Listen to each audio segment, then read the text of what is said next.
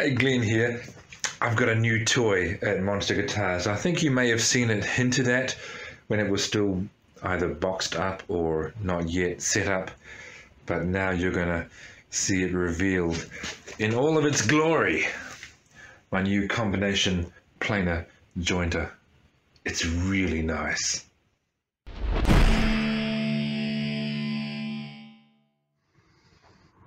So there it is. This is a um, 12 inch wide combination jointer and planer. It's common enough to have planers that are that wide and wider. That's that's pretty standard. But having a jointer that wide is pretty substantial. That's that was really the, the appeal in this machine for me. That and the fact that it's got a spiral cutting head. I bought it from uh, a company in New Zealand called Macma. I'll put the address on the screen. Quite happy to endorse them. I've always had good experiences working with with Peter at Macma, and the machines they sell are very decent. I have high hopes for this. They don't sell like big recognizable brand names, but I'm pretty sure a lot of this stuff is, is made in the same factory as as more expensive machines, and it just doesn't have the branding on it. Um, yeah, it looks like a really quality piece of kit. Uh, all the work surfaces at the moment are covered with it's kind of like wax paper, but but not quite. And all the surfaces are greased or oiled for for protection, so I'll have to clean all those up. Let's get into this. So I'm quite pleased with the way that this is set up. I'm doing what's called making sure that the infield, infield, infeed table and outfeed table of the jointer are coplanar. That is basically parallel with each other on the same level, you know, not, not at different angles because you don't want that. That would make for terrible jointing. They are set up coplanar at the factory, but in transit, it's quite possible that these things will be jostled and bumped out of being coplanar. And so the way that you check is you have a straight edge or something very much like a straight edge. I'm, I'm treating this as good enough, close enough to being a straight edge for this purpose. And I've adjusted the infeed table up using that lever, which is what it's for, so that these two tables are level with each other. My straight edge runs directly from one onto the other, and there is absolutely no rocking. And then in theory, if everything is coplanar, when you move the straight edge to the far side, that should still be the case. There should be no rocking there. And you know what? There isn't anything. It's it is perfect. Which is quite possible because you know it is set up perfect, but you just have to be ready for it to not be perfect when you get it. But if it is, then great. I should probably clean that gunk up before I start using this. Well, the manual was evidently clear enough for me to get this thing fully assembled with the fence, nice solid fence it has, and the guard. It has the European style sliding guard as opposed to the American one. I really think this one is better than the American one. It is just, it's safer. The, the, um, when used correctly, and I didn't really know how to use these things correctly when I first got my small jointer ages ago. When used correctly, you, you never expose the teeth on this thing. I say teeth because it doesn't have standard blades. It's got the helical cutter head. Whereas the American one, and I can't really show you one because I don't have one, it swings out of the way as you put the wood through, and for a brief moment, part of the cutter is exposed. Uh, only a brief moment, but it's um, a little bit less safe than what I have here. Um, yeah, so I can't actually demonstrate this machine yet. I need to get some electrical work done. This workshop needs 20 amps, and at the moment I've only got the standard 10. So I've just had an electrician in to wire in an outlet that will handle this. It has a 15 amp plug on it. There's the outlet there. I've got it on wheels, so um, it's convenient. I store it kind of over there out of the way. My dust extraction unit, somewhat primitive but effective, um, is also on wheels. So I'll just wheel these things out together to kind of the middle of the room where they are now. And there I will use them. So the first piece of work that I want to do with this is to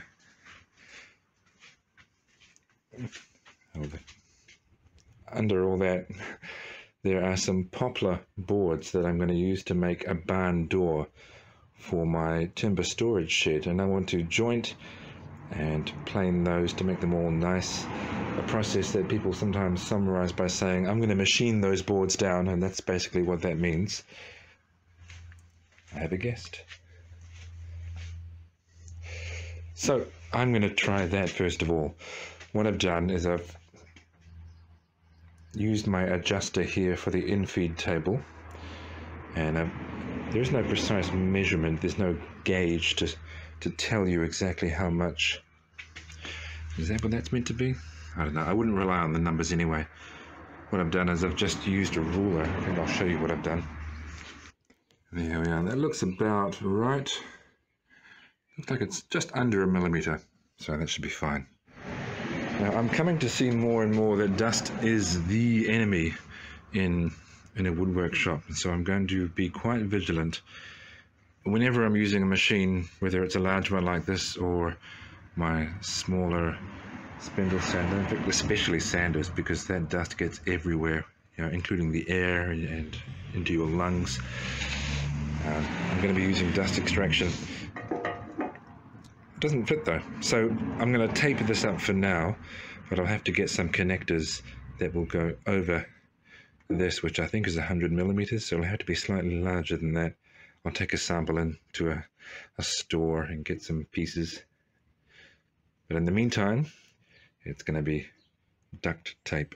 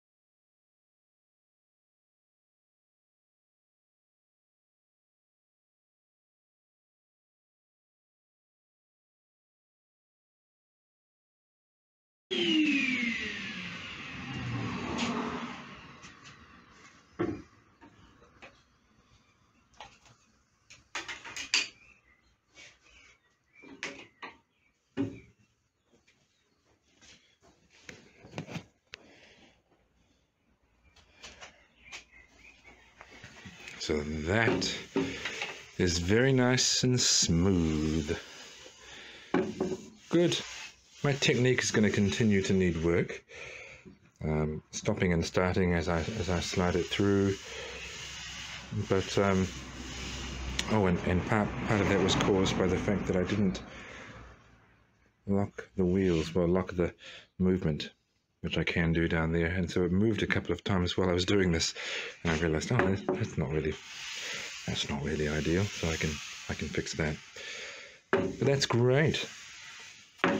So there we have one flat jointed face. Now, because the fence is at 90 degrees, I measured this earlier, I can now use that face to joint the edge, which will now be a nice right angle.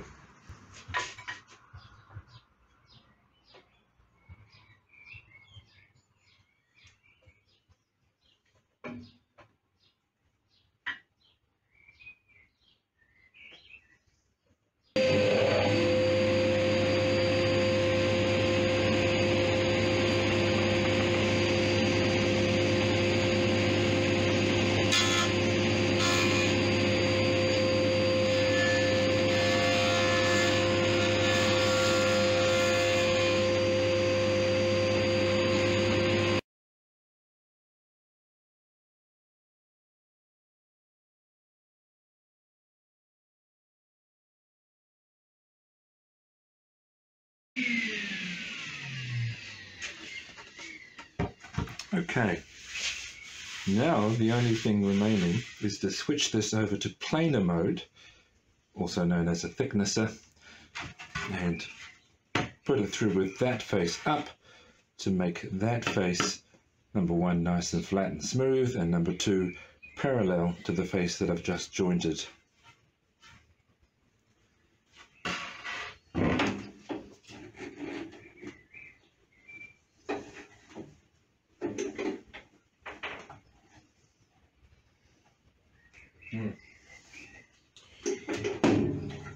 Mistake, even though I think there's probably a switch here that stops the motor from running when the lid is lifted, you should still unplug it just to be careful.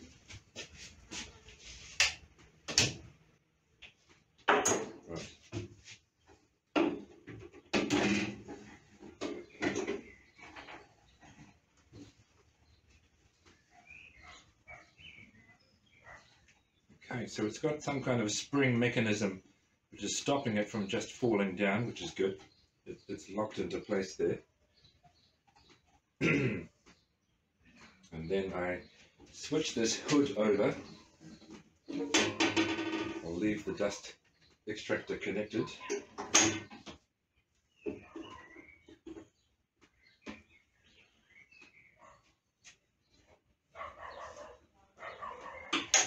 Okay, and that's really simple that is really simple.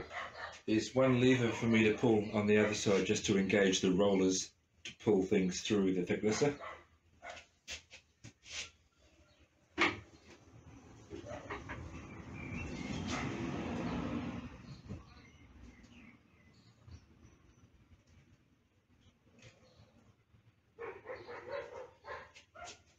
And now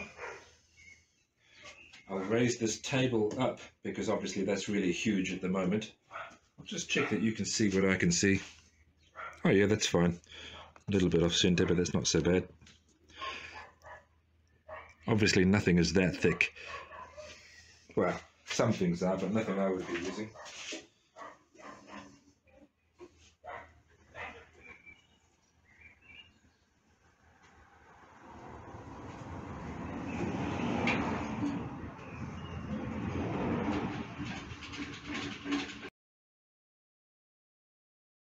Now, in jointer mode, I push the boards through that way, but because they're being cut by the same spinning block, with thicknesser mode, I have to push them through the opposite way.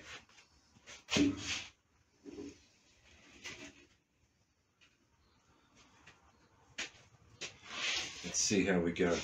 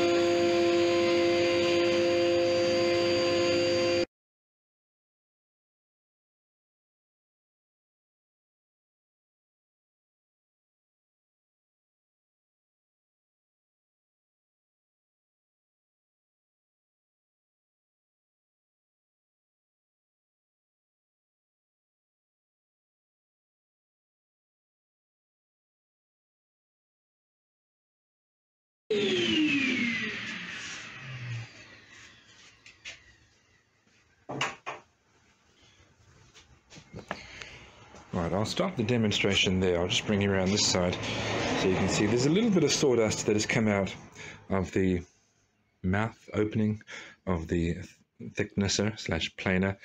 That's normal, but that's really not very much. Obviously, the dust extraction is working okay. Um, the reason you saw me stop a few times there is just that I was encountering a bit of resistance as I put the board through. So rather than push really hard and try and make it go through, I just did a bit of looking to see what was causing that. And I think what was happening there is that I was trying to take off too much. And so the the wheels, the rollers were saying, hey, watch it there, buddy. But let's look at the results. This is really good. Very good indeed. You can see there some slight low spots, so I'll put this through a couple more times. Or I'll do some measuring and decide if I can just cut the end of the board off and I don't need that. There's another low spot there, but this is really smooth. Very, very nice. And uh, with the with the helical cutter head, those blades will last a very long time as well. So I'm very pleased with this with this purchase. It was a significant purchase, my most expensive tool yet. Um, now I'm going to go through all of these all of these poplar boards. Well, I'll, I'll plan out my door first of all, and then I'll go through all of the boards that I need. And I won't, yeah, I won't do them one at a time like this. What I'll do is I'll joint all of the faces, and then I'll joint all of the edges, and then I'll put them all through the planer. Slightly more streamlined way of doing it. But there we are. Um, I've been thinking of a name for this guy. I don't know, maybe Eric. For some reason, I keep going to Eric. Maybe it's Eric Idle inspiring me. I am a Monty Python fan. But in any case, in, in, in, in any case, um, that's my new toy and I'm going to be using it for many projects, including most of my guitar builds because I use recycled beams, and so this will really machine them into usable blanks in no time. So, stick around and watch me using this in many more projects to come here on Monster Guitars.